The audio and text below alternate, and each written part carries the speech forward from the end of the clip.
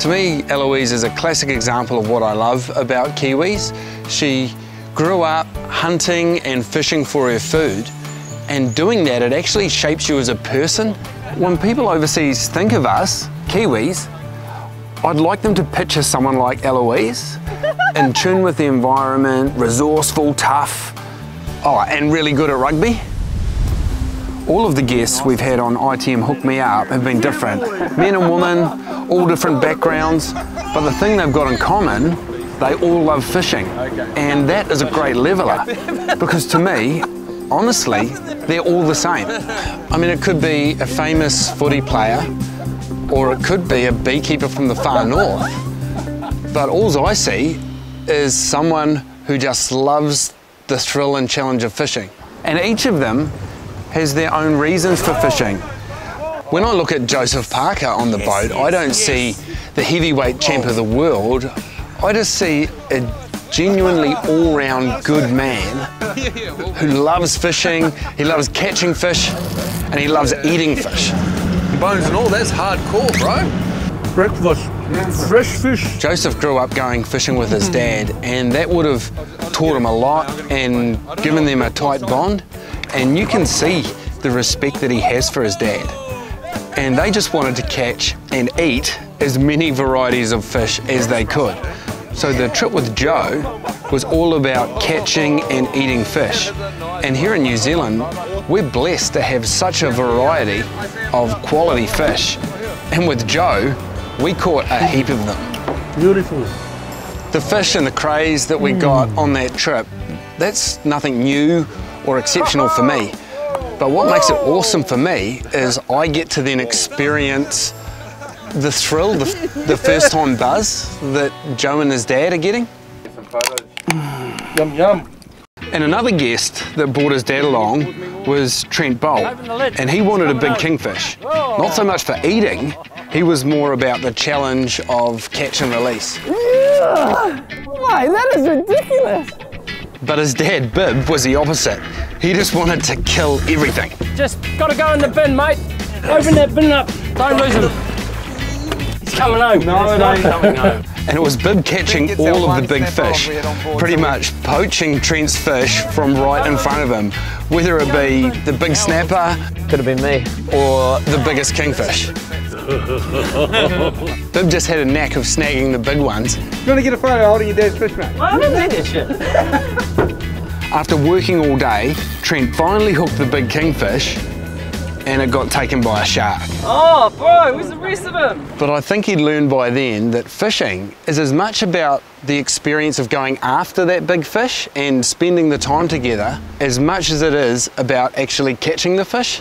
I had the best day ever, mate. Yeah. 18 kings, I'm stoked. And another of our guests, Chance Ropiha, he was the same. A young guy, but he brought along old Randall, a guy that had taken him out and taught him to hunt at a time in his life when he was going off the rails. So we went into Fiordland, they were both blown away, not only by the incredible beauty and grand scale of the place, but the incredible bounty of the sea down there. And Chance, who couldn't even dive at the start of the trip, got his big crayfish. But when I think of that trip, it's not crayfish. I think of those two guys with 40 years age difference between them and their mates because of a shared passion for the Kiwi outdoors. Chatsy. Oh, hell. So we've got old Randall teaching the young fella Chance all of his knowledge, but we've got Chance keeping Randall young as well. And it's not just New Zealand. We've taken guests further afield to fish for snakehead in the Malaysian jungle. feel like I'm in some major fishing movie or something, man. then out to the South China Sea to catch sailfish. Whoa. Whoa. And we went to Niue where we lined up Catherine with her chance to fulfill her dream of shooting a big wahoo. and when you head off on these adventures with all of these goals, so often you get a lot more. Just being on the water or in the water, the next exciting encounter or mind blowing experience can happen at any moment. And next thing you know, you're surrounded by huge humpback whales. Wow. Oh man. I mean, fishing is one of the last true adventures that everyday people can just go and do on the weekend because you just don't know what's going to happen next. We had Chris, a builder who'd been fishing for 35 years and his best ever fish was an eight pound snapper. And we hook him up to an 800 pound blue marlin. Oh, there he goes, the Blue Mountain. It's a Blue Mountain, boys. It was just the two of us on board, and it was the biggest marlin I'd ever seen in New Zealand waters. So I just lost my shit.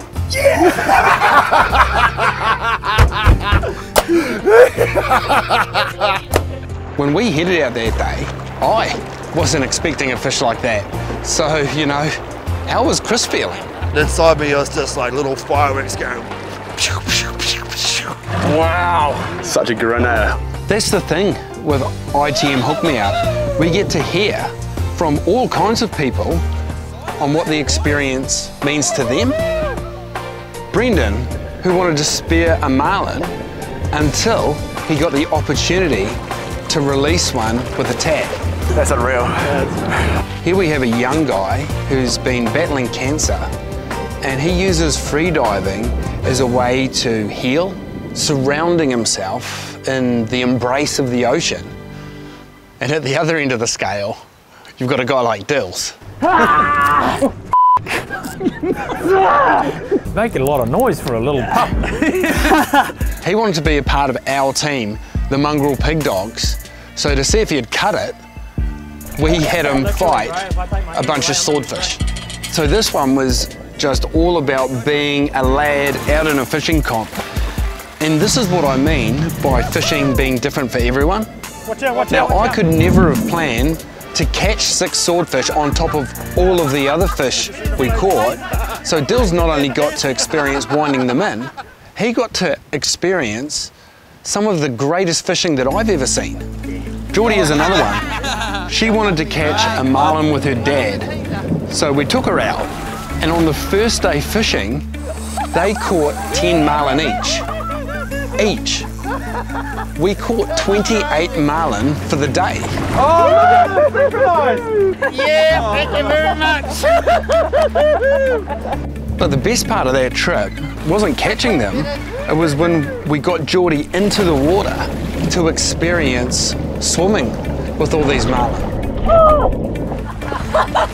You can just see it on the faces of everyone, that pure, unfiltered joy when you've been challenged and it can be really hard. And then you get that fish, you just get this wave of euphoria come over you.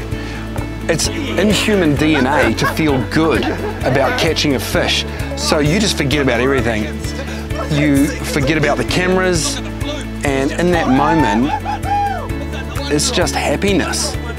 And for me, it's been a privilege to be a part of some of the best days of these people's lives. There's been so many struggles just making the show, just making ends meet. But when you get those moments, you know, um, I'm just grateful to all of the guests that have shared all of their experiences with me. And of course, grateful to ITM for um, hooking us up, for hooking me up too.